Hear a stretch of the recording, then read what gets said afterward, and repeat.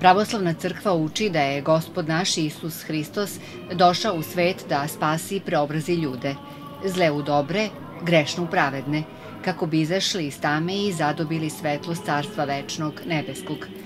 Tako treće godine svoje propovedi na zemlji, spasitelj, znajući da se približava njegovo stradanje, povede tri učenika, Petra, Jakova i Jovana, na goru Tavor.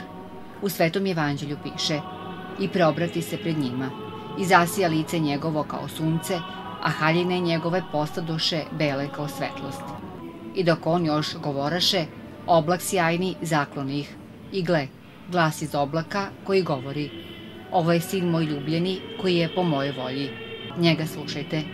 A učenici, kada to čuše, padoše ničice i uplašiše se veoma.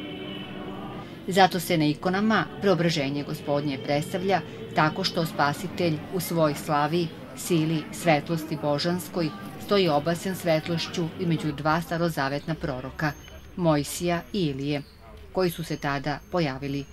Nikoni su prikazana i tri apostola koja su, čuvši Boži glas, pala na zemlju i čije oči nisu mogle da izdrže svetlost koja se ukazala.